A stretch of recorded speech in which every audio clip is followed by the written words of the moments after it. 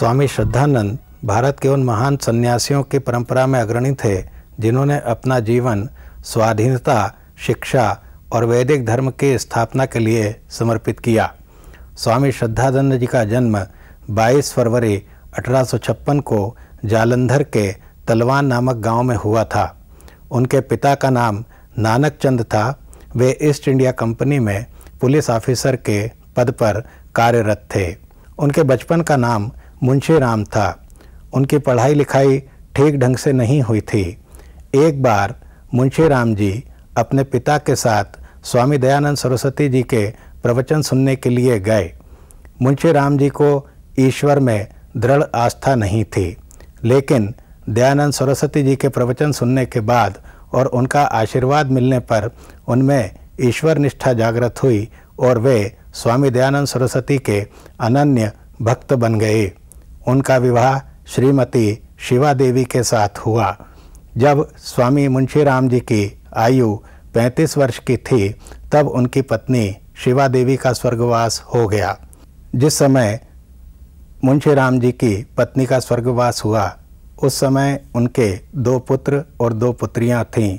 सन 1917 में उन्होंने संन्यास धारण किया और उसके बाद उनका नाम स्वामी श्रद्धानंद हो गया। सन 1901 में स्वामी श्रद्धानंद जी ने गुरुकुल की स्थापना की, जो गुरुकुल कांगड़ी विश्वविद्यालय के नाम से विख्यात है। गुरुकुल कांगड़ी विश्वविद्यालय के विद्यार्थियों ने स्वामी श्रद्धानंद जी की प्रेरणा से पंद्रह सौ रुपये एकत्र किए और दक्षिण अफ्रीका में महात्मा गांधी को समर्पित किए। जब महात्मा गांधी भारत आए और उन्होंने गुरुकुल कांगड़ी विश्वविद्यालय का दौरा किया, तब स्वामी श्रद्धानंद जी ने सबसे पहले गांधी जी को महात्मा की उपाधि से विभूषित किया। जलियावाला बाग हत्याकांड के बाद जब कांग्रेस का तिरयालीसवां अधिवेशन अमृतसर में हुआ, तब स्वामी श्रद्धानंद जी ने उस अधिवेशन की अध्यक्षता की और वहाँ से उन्होंने हिंदी भाषा में अपना अध्यक्षीय उद्बोधन दिया। बाद में जब स्वामी श्रद्धानंद जी को लगा कि कांग्रेस मुस्लिम तुष्टिकरण की नीति पर चल रही है, तब उन्होंने शुद्धिकरण अभियान चलाया।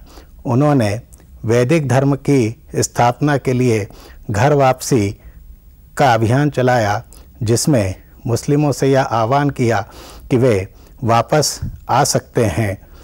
इसकी प्रतिक्रिया स्वरूप 1926 में एक सिरफिरे व्यक्ति ने, जिसका नाम अब्दुल रशीद था उसने स्वामी श्रद्धानंद जी के घर जाकर धर्म चर्चा के बहाने से उनकी गोली मारकर हत्या कर दी। आज हम ऐसे महान सन्यासी स्वामी श्रद्धानंद द्वारा गुरुकुल कांगड़ी विश्वविद्यालय के विद्यार्थियों को सन 1914 में दिए गए दीक्षांत भाषण की चर्चा करेंगे। स्वामी श्रद्धानंद कहते हैं, पुत्रों, आज मैं तुम्हें उन बंधनों से मुक्त करता हूँ, जिनके अनुसार गुरुकुल में चलना तुम्हारे लिए आवश्यक था। पर यह न समझना कि अब तुम्हारे लिए कोई बंधन नहीं है। प्राचीन काल से हमारे ऋषियों ने कुछ बंधन बाँध रखे हैं। उन्हें मैं आज तुम्हें सुनाना चाहता हूँ। इन बंधनों के पालन करने में किसी का तुम पर दबाव नहीं है, इसलिए ये बंधन और भी कड़े हैं। इन बातों को यहाँ समझना ज़रूरी है। जब विद्यार्थी विद्यालय में प्रवेश पाता है, तब उसे विद्यालय के उन सारे नियमों को मानना पड़ता है, जो विद्यालय परिवार ने उस पर लागू किए हैं। गणवेश में आना, समय पर आना, सारी कक्षाओं में बैठना, सारी कक्षाओं में ध्यानपूर्वक अध्ययन करना, ये बंधन जो है, अनुशासन बनाने में कारगर होते हैं।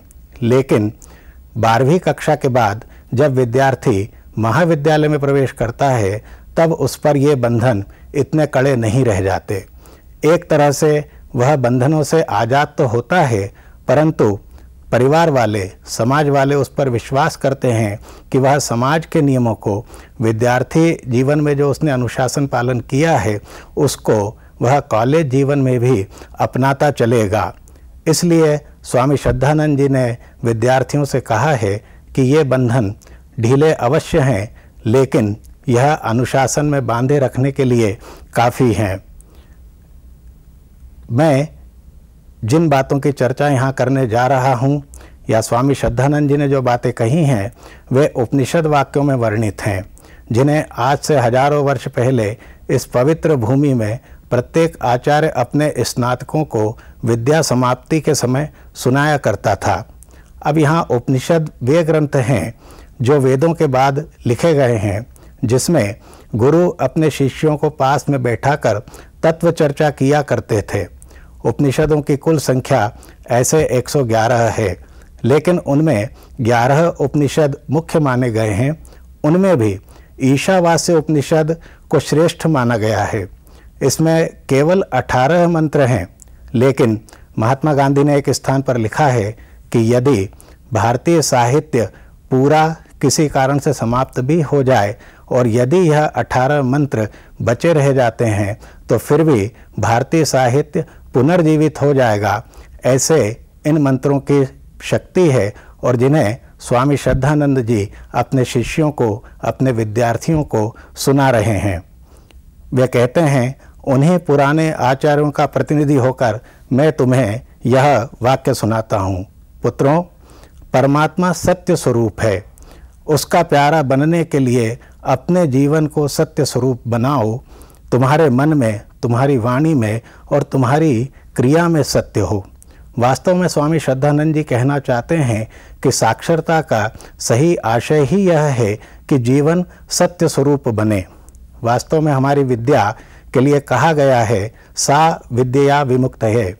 विद्या ऐसी हो जो हमें जीवन के बंधनों से मुक्त करने वाली हो और यह सत्यमय जीवन बिताने से, सत्य को जीवन में धारण करने से पूरी हो सकती है। स्वामी श्रद्धानंद जी आगे कहते हैं, धर्म मर्यादा का उल्लंघन मत करो। अब यह धर्म मर्यादा का उल्लंघन मत करो की बात ऐसी है कि यदि विद्यार्थी जीवन में कोई विद्यार्थी विद्या अध्ययन छोड़ करके अन्य कामों में व्यस्त होता है तो वास्तव में वह उसका उल्लंघन माना जाएगा। कोई अध्यापक अपने अध्यापकीय कर्म को छोड़कर अन्य कामों को करने लगता है तो यह उसका उल्लंघन माना जाएगा। जब जो व्यक्ति जिस काम को करता है, वही उसका धर्म हो जाता है। इस मर्यादा का साक्षी अंतकरण ही है, बाहर से कोई धर्म बतलाने वाला नहीं है।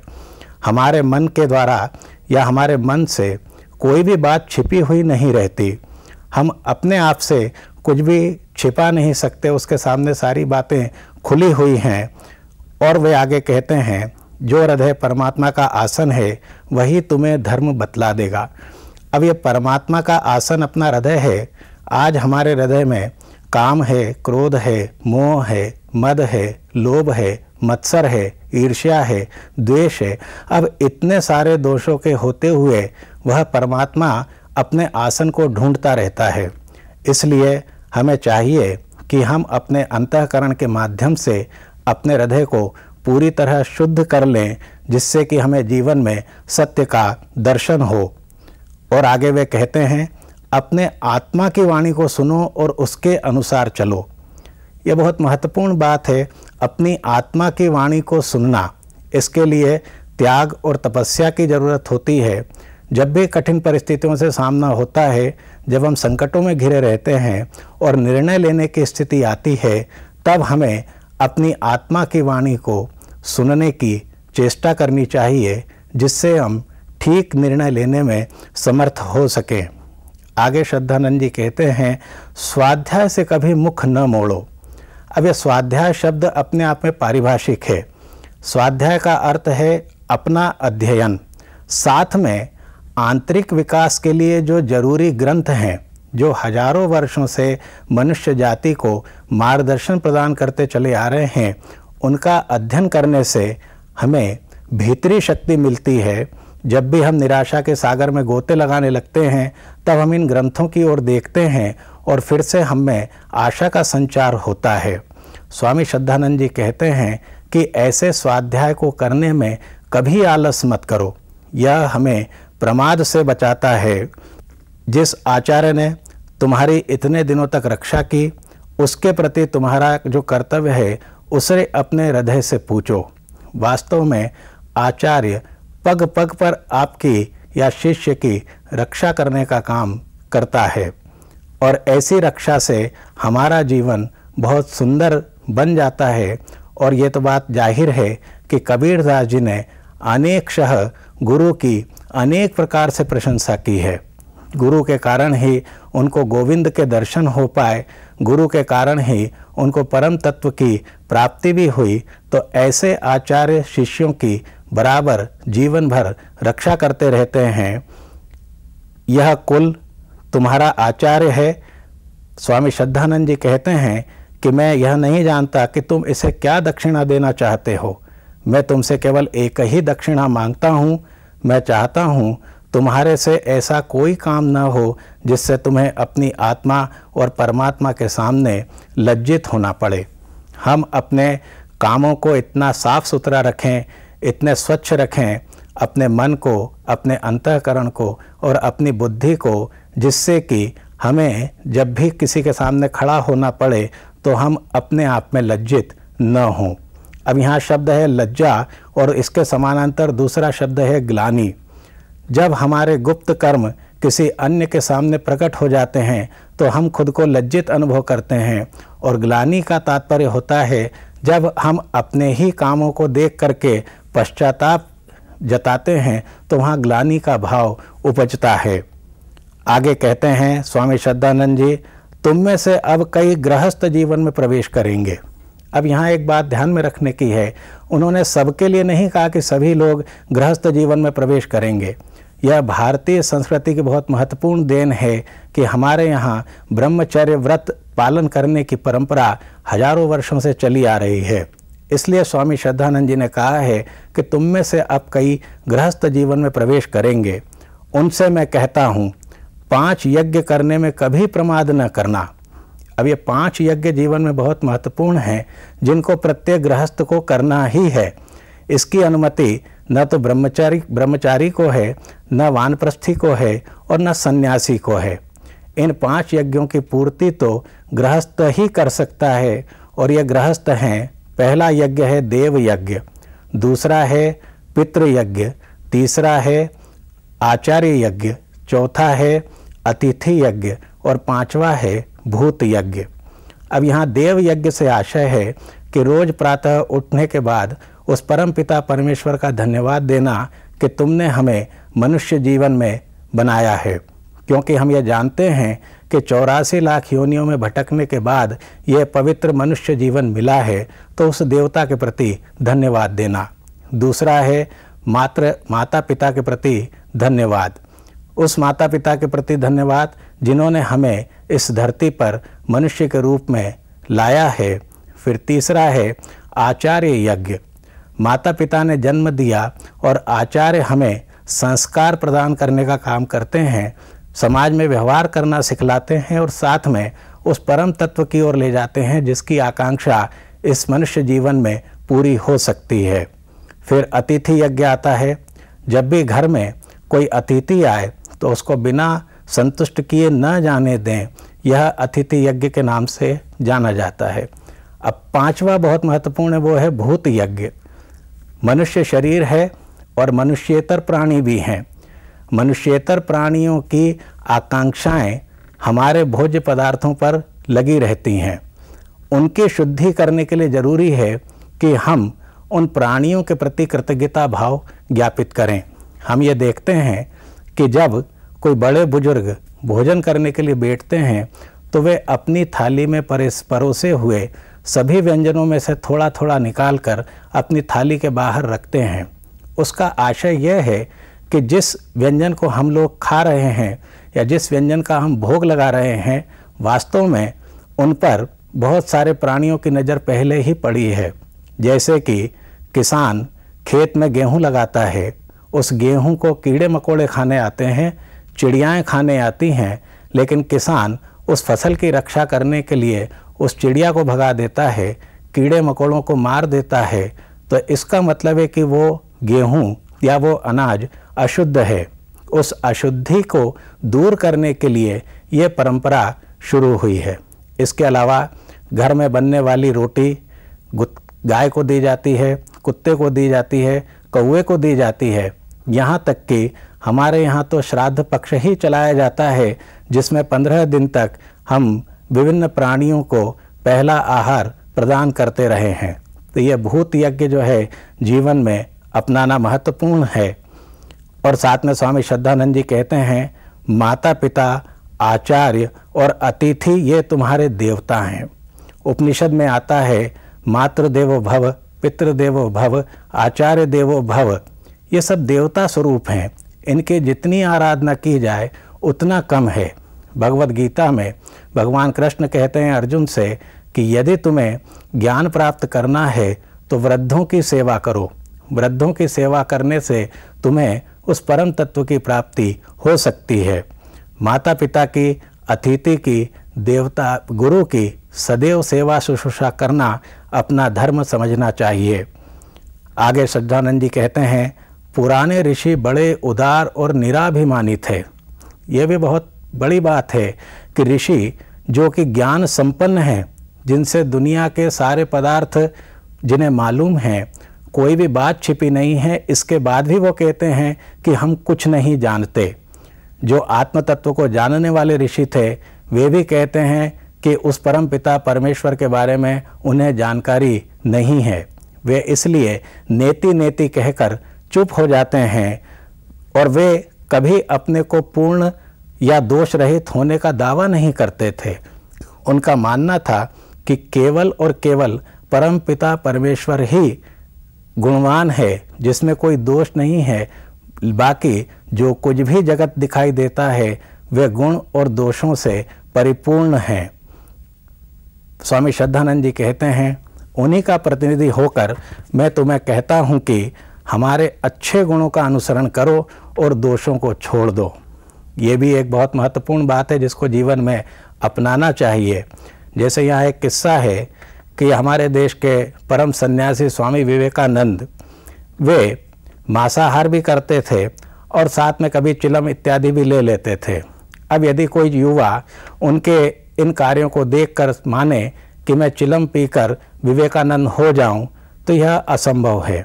वास्तव में उनके गुणों का अनुकरण करने की ज़रूरत है। उन्होंने जिस ढंग से ब्रह्मचर्य व्रत का पालन करते हुए भारत का परचम पूरी दुनिया में लहराया, यह अपने आप में अद्भुत है। इसलिए स्वामी श्रद्धानंद जी कहते हैं कि गुणों का अनुसरण करो, उनके दोषों को छोड़ दो। इस संसार की अंधियारी में किसी को अपना ज्योति स्तंभ बनाओ। अब यहाँ स्वामी श्रद्धानंद जी कहते हैं कि यह संसार अंधकारमय है। और इस अंधेरे संसार से आप तभी पार पा सकेंगे जबकि आपके पास में कोई महापुरुष रूप में ज्योति स्तंभ हो। ज्योति स्तंभ का मतलब होता है लाइट हाउस पढ़ा पढ़ाया कुछ अंश तक ही काम आता है। यदि किसी विद्यार्थी को यह बता दिया जाए कि आप इस साइकिल पर इस तरह बैठ जाइए, ऐसा हैंडल पकड़िए और इस ढंग से पेडल चलाइए तो विद्यार्थी जीवन में कभी साइकिल नहीं चला पाएगा। हमें ध्यान में रखना चाहिए कि भगवान श्री कृष्ण ने भगवत गीता अर्जुन को युद्ध के मैदान में सिखाई।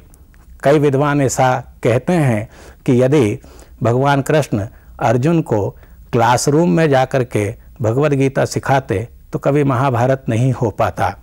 अर्जुन जैसा वीर साहसी योद्धा, जो अकेले ही पूरी सेना से लड़ने में सक्षम था, वह अपने सामने अपने बंधु बांधव अपने पितामह अपने आचार्यों को देख करके अस्त्र शस्त्र छोड़कर बैठ जाता है। यदि उसके सामने ऐसी परिस्थिति नहीं आती तो वो कब का ही पूरी की पूरी सेना को समाप्त कर देता, इतना बलशाली था। तब भगवान श्री कृष्ण ने अर्जुन के इस मोह को दूर करने के लिए भगवत गीता सुनाई और तब जाकर के अर्जुन का आखिरी में मोह भंग हुआ और वह युद्ध के लिए प्रवृत्त हुआ। तो कहने का आशय यह है कि शब्द समझने के लिए होते हैं, उनका व्यवहार तो समाज में जाकर ही सिद्ध होता है। पर सच्चे पथ प्रदर्शक वे ही महापुरुष होते हैं, जो अपना नाम संसार में छोड़ जाते हैं। स्वामी श्रद्धानंद जी कहते हैं कि जो हज़ारों वर्षों से नाम हमारे बीच चले आ रहे हैं, जो अवतारी महापुरुष हो गए हैं, जिनको कि कालात्मा ने अपनी परीक्षा पर खरा उतारा है, ऐसे महापुरुष जो हैं, उनको अपना पद प्रदर्शक बनाना चाहिए। वे जीवन समुद्र में ज्योति स्तंभ के समान हैं। जिस प्रकार से समुद्र में यदि कोई जहाज़ आ रहा है, किनारे आना चाहता है, और यदि किनारे पर लाइट हाउस नहीं है तो जहाज़ किनारे पर आकर के भटक जाएगा, या तो चट्टान से टकरा जाएगा, या टूट करके बिखर जाएगा, लंगर नहीं डाल पाएगा। ऐसे ही हमारा यह शरीर वास्तव में जहाज़ है और यह संसार सागर है। यदि हमने अपने जीवन में किसी महापुरुष को नहीं अपनाया तो हमारा यह शरीर रूपी जहाज़ पता नहीं किस किनारे जाकर लगेगा, जिसकी कोई उम्मीद नहीं की जा सकती कि वह जीवन बचेगा। इसलिए ऐसे आत्मत्यागी, सत्यवादी और पक्षपात रहित महापुरुषों को चाहे वे जीवित हों या ऐतिहासिक, अपना पथ प्रदर्शक बनाओ। तीन बातें इसमें हैं। आत्मत्यागी, सत्यवादी और पक्षपात रहित जब किसी साधु से पूछते हैं कि आप झूठ जानते हैं तो साधु कहता है कि मैं सत्य के अलावा कोई आचरण ही नहीं करता। आत्मत्यागी, जिसने सब कुछ छोड़ दिया है, यहाँ तक कि जिसको अपने शरीर की भी परवाह नहीं है, वह केवल समाज के लिए जी रहा है, जिसकी ऐसी आकांक्षा रह जाए, वह आत्मत्यागी और पक्षपात रहित यह बहुत आध्यात्मिक तत्व है।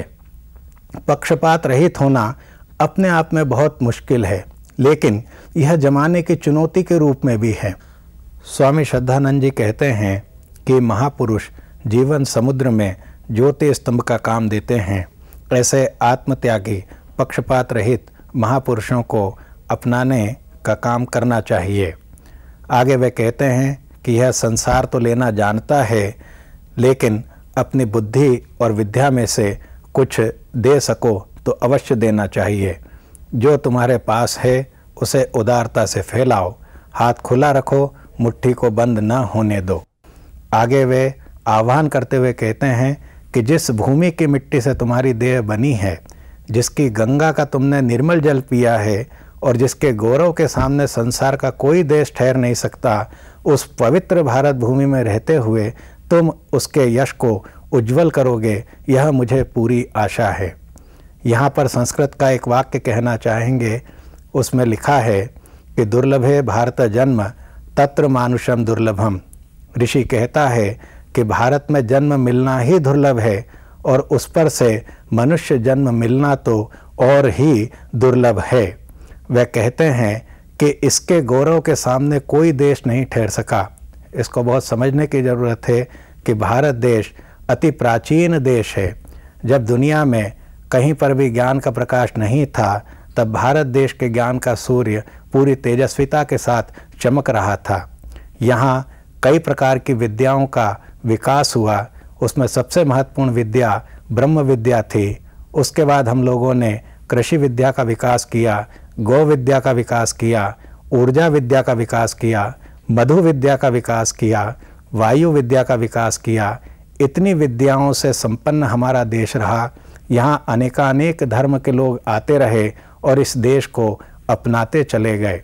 विभिन्न जातियों में, विभिन्न भाषाओं में, विभिन्न भूषा में, विभिन्न प्रकार के खान पान में बसा हुआ यह देश लोगों को बरबस ही अपनी ओर आकर्षित करता है। इस विशेषता को ध्यान में रखते हुए हमें भारत भूमि पर गर्व करना चाहिए और इसके यश को हमेशा उज्जवल बनाने का प्रयास करना चाहिए। इसके साथ ही जिस सरस्वती की कोख से दूसरा जन्म लिया है, उसे मत भूलना। यहाँ यह बात ध्यान में रखने की है। संस्कृत का फिर एक श्लोक है, जायते जन्मन शूद्र, संस्कारात द्विज उच्चते जन्म से हम सभी शूद्र होते हैं। जब हम नवजात शिशु होते हैं हमें नहीं मालूम रहता कि हम कहाँ पड़े हुए हैं। हम गंदगी में हैं या मखमल में लपेटे हैं। हमें हमारी माता संस्कारवान बनाती है, तब हमें दूसरा जन्म मिलता है। इसलिए उस सरस्वती माता की उपासना हमें जीवन भर करनी चाहिए। श्रद्धानंद जी कहते हैं कि यह संक्षेप में उन वाक्यों का सारांश सुना दिया जो हज़ारों वर्षों से इस पवित्र भूमि में गूंजते रहे हैं। इन्हें गुरु मंत्र समझो और अपना पथ प्रदर्शक बनाओ। इसके अलावा स्वामी श्रद्धानंद जी कहते हैं कि आपका और विद्यार्थियों का बहुत समय तक संबंध रहा। गुरु दक्षिणा के रूप में मैं कुछ नहीं माँगता। गुरु दक्षिणा देना तुम्हारा धर्म है, मांगना मेरा धर्म नहीं। यह इसलिए महत्वपूर्ण है कि कभी भी गुरुओं ने दक्षिणा के रूप में रुपए, पैसे इत्यादि की मांग नहीं की। यदि शिष्य ने ज्ञान हासिल किया है और शिष्य ने गुरु को यदि एक नारियल भी चढ़ा दिया तो वही उसके लिए गुरु दक्षिणा हो जाती थी। श्रद्धानंद जी यह भी कहते हैं कि मैं तुमसे यह नहीं पूछता कि तुम्हारे राजनीतिक, सामाजिक या मानसिक विचार क्या क्या हैं। मैं केवल तुमसे यह पूछता हूँ कि तुम्हारे सब काम सत्य पर आश्रित होना चाहिए। स्मरण रखो, यह संसार सत्य पर आश्रित है। कई बार हम लोगों को लगता है कि असत्य आचरण करने वाला व्यक्ति समाज में सुखी है, समृद्ध है। उसके पास वो सारी भौतिक सुख सुविधाएँ हैं, जिसको वह असत्य के बल पर अर्जित करता है। लेकिन यह ध्यान में रखो कि वह टिकने वाला नहीं है। सत्य के आधार से ही असत्य टिका हुआ है। जब इस बात का ध्यान आ जाता है, तब हम जीवन में सत्याचरण के अलावा और कोई आचरण नहीं करते हैं। आगे वे कहते हैं सत्य के बिना राजनीति धिक्कारने योग्य है। सत्य के बिना समाज के नियम पद दलित करने योग्य हैं।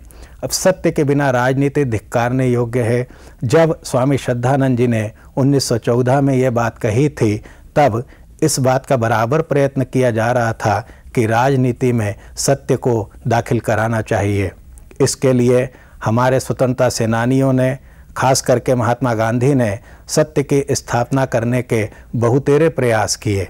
लेकिन राज और नीति, ये दोनों विपरीत छोर पर खड़े हुए हैं। राज रहेगा तो नीति जाती है और नीति आती है तो राज चला जाता है।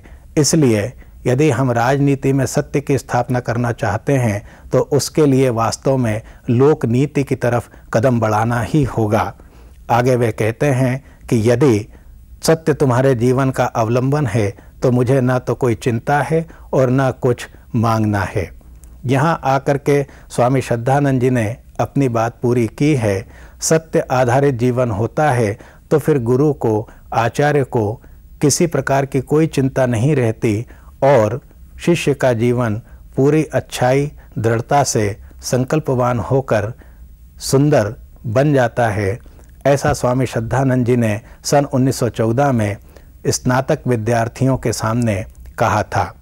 दीक्षांत भाषण में विद्यार्थी का अंतिम शिक्षा, विद्यार्थी की अंतिम शिक्षा होती है, जिसके बाद उसको अपने पढ़े हुए को समाज में व्यवहार में लाना होता है।